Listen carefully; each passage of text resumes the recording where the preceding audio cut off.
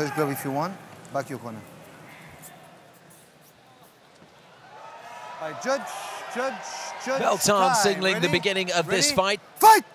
which is brought to you by Berocca. Think sharper, act faster. Ev Ting in the black trunks and receives a kick to the midriff from Banario in the red, who drives for the one-legged takedown and gets it in the end.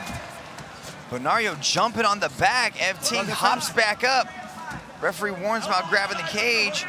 Banario is pressuring him against. Ev Ting seems to battle it back off. Very good effort from Ev Ting to get back up to his feet.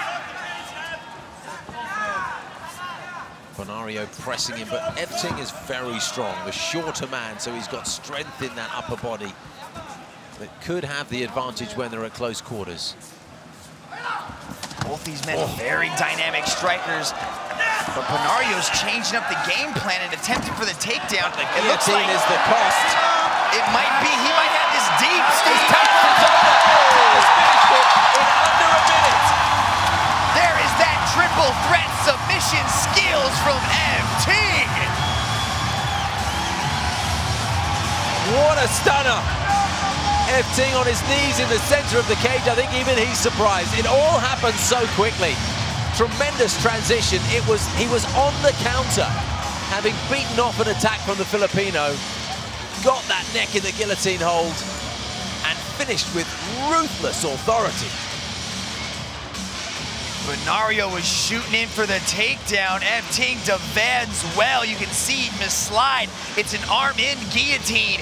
He's got that throat tightly wrapped, and he just wraps his legs around, flips it into mount, and there's nothing Banario can do to relieve the pressure except to tap.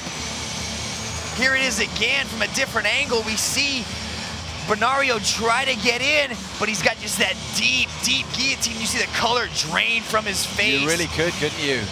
He went a deep purple.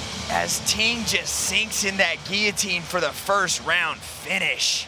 To present the prize to the winner, we have country division head, Ms. Leong Suk Fun from Berocca. Ladies and gentlemen, referee Olivier Coste calls a halt to this battle at 56 seconds of round number one for your winner by submission via guillotine choke, E.T.